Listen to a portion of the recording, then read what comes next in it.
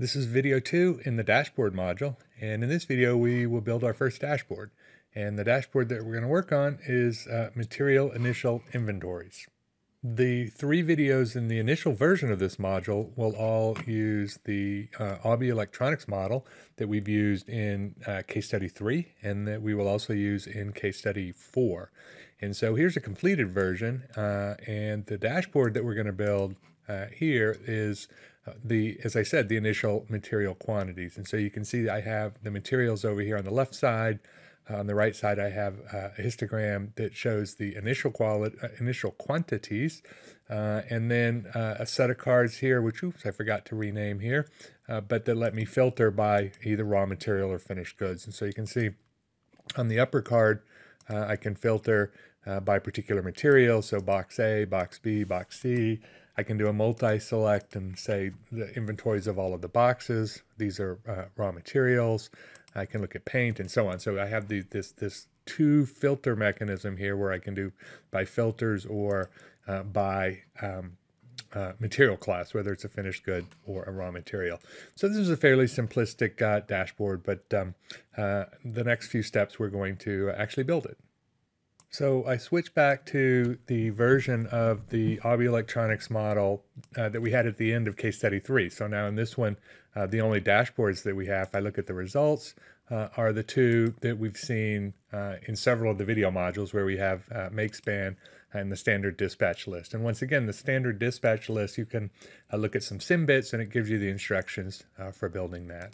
So we're going to go and uh, remember one thing to remember all the time when dealing with dashboards is we have two different places. You have the results tab.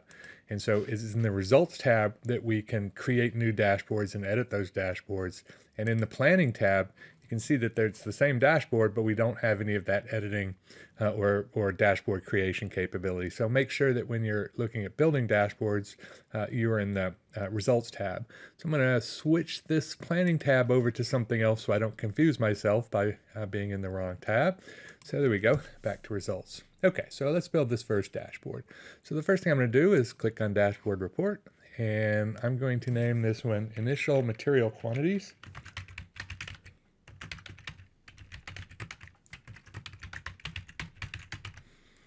And what we see is the dashboard, oops, on a different monitor here. There we go.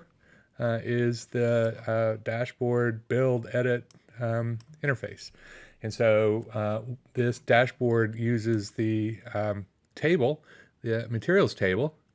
Recall the materials table is what we use to uh, auto create the material elements and then we specify their initial quantities and that's where the data comes from for uh, the dashboard uh, that we're going to see here. And so the first step, as I said, uh, is to set the uh, material table. And then what I'm going to do is I'm going to add a card right here. Just click on cards. And then I'm going to add a pie. And I'm going to do this in two steps. I'm going to do the initial filtering and then I'll do the secondary filtering uh, in a second step. As I mentioned in the introduction video, I'm relatively new to Simio dashboards, uh, so this interface is, is, just doesn't yet feel intuitive to me. So when I build dashboards, uh, there's a lot of trial and error involved. And so it doesn't, it might not look like it in this video because I've already gone through the steps uh, to map them out. Uh, but just be aware that when you're trying to learn how to build those in this particular interface, experimentation is important and little changes can have big uh, impact on your dashboards. Okay, so I have my card in place and I have my, oops, I, I, sorry about that. I did a pie and I don't want a pie. I want a chart. Sorry about that. So now I have my card and my chart. So I'm going to go to cards and the first thing I'm going to do is drag the initial quantity right here to this actual value right here. And you can see that now my card has my uh, quantity, initial quantity. So we just took the sum of the initial quantity. For this one, I'm not particularly interested in that sum. I just want to quantify or I just want to have all of the uh, values. So I'm going to click on the little gear here to edit. And I'm going to switch to the compact view. And then I'm going to unclick or uncheck all of the values other than the, uh, oops, I wanted to get rid of the subtitle, other than the title. Okay, so do, do that and click OK. And so then the next thing I'm going to do uh, is just drag mname, remember that's our material name, to the series. And so now you can see what that does is it sets the series to be the uh, of the individual cards uh, to be one for each material name. And then this initial quantity, since we're only showing the title, is showing that material name uh, title. Okay, so I'm going to do that. I'm going to then rename this. So just right click on the title bar here and I'm going to edit names and I'm going to call this materials. And I'm going to go to the data across the top, the, the data ribbon, and then I'm going to set the multiple master filter. And so you see you have two basic options here if you want to use this uh, this element as a filter. One is to just have a single one, which would only let me choose one at a time. The multiple master filter is the one that lets me do multi-select. So hold down the controller shift key and select multiple ones. And so that's what I want. Okay, so we've got the initial part of the cards done. Now let's just switch over to the chart. So make sure that you click on chart. Uh, and then I'm going to drag initial quantity here, initial quantity here to value right here. And so now you can see my initial quantity, the sum of um, uh, the sum of all of the initial quantities. And then as we did before, I'm going to drag the M name to the series. And so once I do that, as we saw with the cars, what that's doing is saying I want to use the individual uh, material names uh, um, so that I can then see all of the different values if I have uh, no filtering done. So I'm going to then go and change the name here and just call this, let's see, what do we want to call this? Let's say quantity, initial quantity.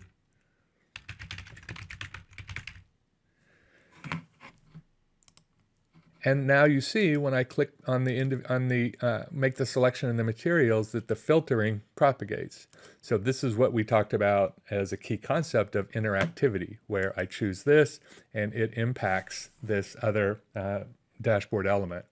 And because we have that multi-filter, I can hold down the control key and select different values. So you can see I have all of the box um, components here. If I want to have the components themselves, they're the four component types.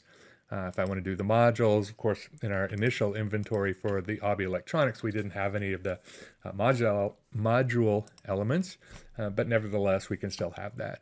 Also note that you have this filter icon where you can clear the master filter. And so if you want to get back to a state where you don't have any, uh, you're not applying any filtering to the other elements, just click on that little uh, funnel with the X there to uh, get rid of the filtering. And so the last thing we'll do for this simple uh, dashboard is to add this second level of filtering. So note that we have all of the materials shown here, that we have two different classes of materials. If we look at, if we remember from the table M class, we have raw materials, which are the boxes, the components, uh, the uh, paint, and then we have finished goods, which are the, uh, the modules. So what I'd like to be able to do is, is have that secondary filtering. So to do that, I'm going to go back to home and add another card. And so it shows up uh, right here. And then I'm going to drag the material class to the actual. So you can see the actual uh, count there. Again, I'm going to go and fix the same way we did before. Go and pick the compact one and just choose the title so that we can just see uh, the titles. And then I will go and use M class again, and this time to the series. And now you see that we have the two uh, different um, uh, material classes. You have finished goods uh, and raw material. And so right now it's set where you can't select it, but I can fix that uh, by going to data. And as we did before, we could we could do, uh, we only have two choices, so there's no point in having a uh, multiple master filter. So once I do single master filter, now we see uh, that the filtering happens. So if I click on raw material, or finished goods, uh, either one. Um, I guess, well, now that I look at it, I guess we do want the multi-master so that I get the little destroy here or, or clear the filter. So it, when we have the multiple filter master, it then has the um, the option, I guess, to have the filter, have no filter at all. Whereas when I had the single master, it's either going to be uh, one or the other. So we, in this case, we do want the multiple master so that I can go in uh, and eliminate um, the filter. And so when you see, when I have this filter to say raw material, not only does it filter the, uh, the chart, but it also filters the other card.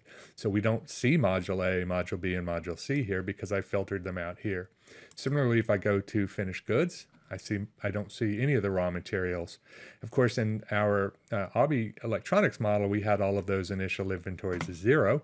So let me just save this and we'll go back in and show that, you know, if we had those values as something else, so if we uh, go back to our data and go back to our materials and let's say, I don't know that I have 34, 22, 98, let's say.